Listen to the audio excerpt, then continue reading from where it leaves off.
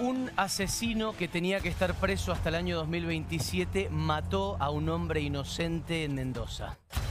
En el medio, el juez de ejecución penal, Sebastián Sarmiento, decidió que ese homicida, hoy doble homicida, tenía que quedar libre antes de tiempo. Tenía que quedar libre cuatro años antes de lo que marcaba su condena original. Así lo decidió este magistrado. ¿Cuál fue el resultado? Una catástrofe. El domingo, este homicida se metió a la casa de una persona y lo mató, no solo en su casa, en su habitación y frente a su nieto de nueve años.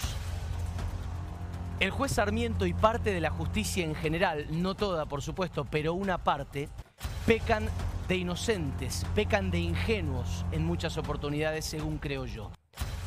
Son ingenuos porque ponderan ciertos elementos a la hora de liberar delincuentes antes de que cumplan su condena original y desestiman otros. Y los elementos que sí deciden tomar son algunos como que, por ejemplo, ese delincuente decida ir a la escuela, decida trabajar, se anote en un curso, sea bueno con sus guardiacárceles, con sus compañeros de la prisión y un montón de otras nimiedades más que finalmente los terminan haciendo poder pisar la calle, muchas veces equivocadamente, muchas veces con consecuencias extremadamente graves, como es el caso de lo que acaba de ocurrir en la provincia de Mendoza. ¿Por qué digo que son nimiedades?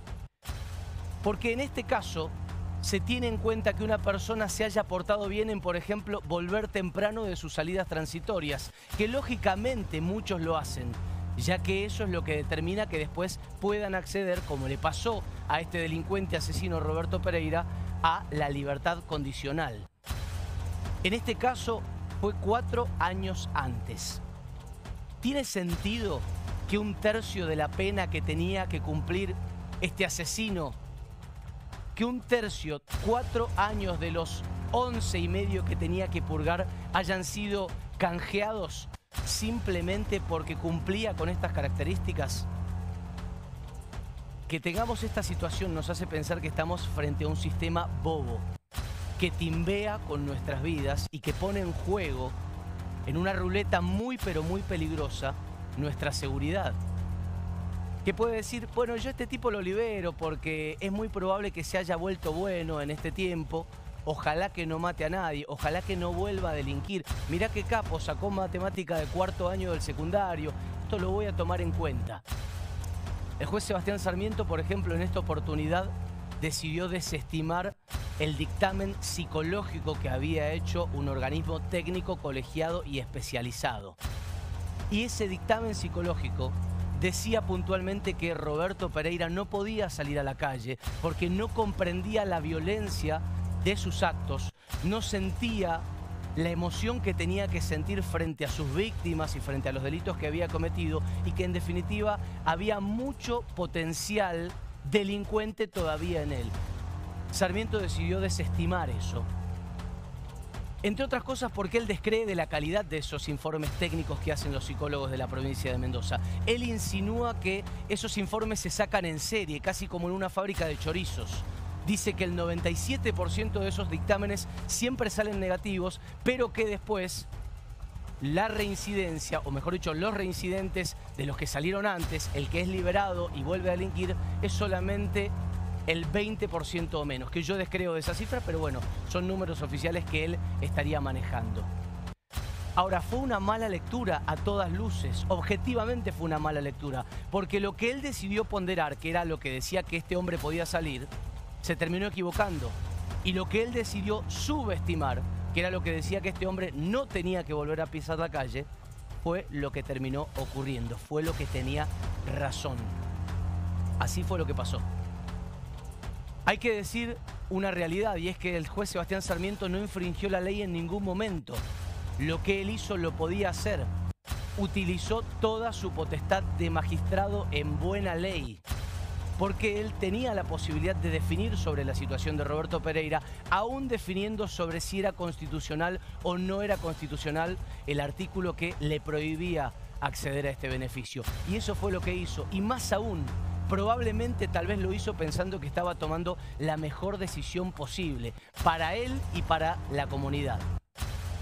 Y hay que decir también que no puede estar toda una provincia focalizándose solamente en si se equivocó o no se equivocó un juez de ejecución penal, cuando Mendoza tiene graves problemas de inseguridad, cuando Mendoza tiene graves problemas de narcotráfico. Sin embargo, voy a decir algo más que también es llamativo.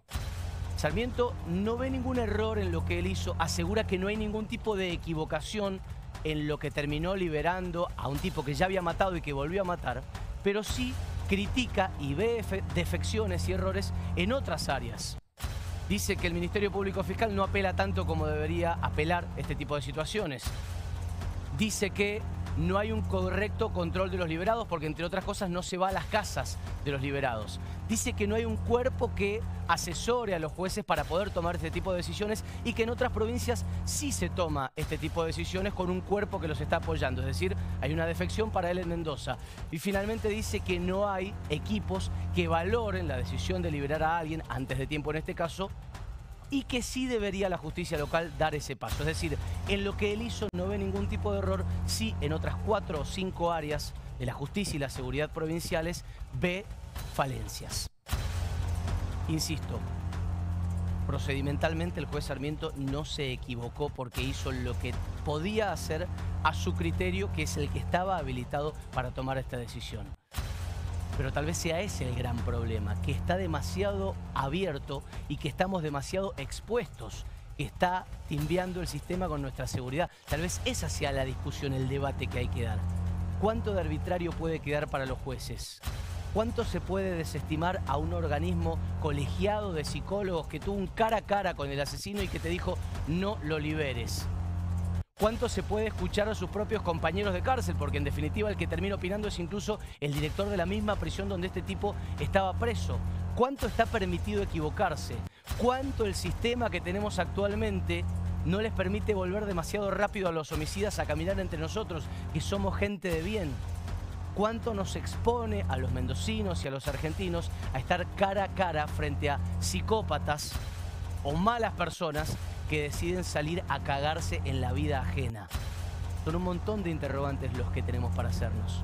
Lamentablemente hay una persona, por ejemplo, a la que no se las podemos preguntar, Héctor Pelayes, porque un sorete avalado por la extrema falibilidad de este sistema, salió a la calle cuatro años antes de lo que decida su condena original, se descolgó por la medianera de Pelayes, lo encontró en su habitación y lo mató.